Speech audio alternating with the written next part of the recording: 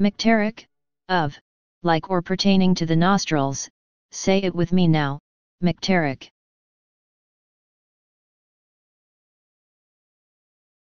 Please subscribe and thanks for watching.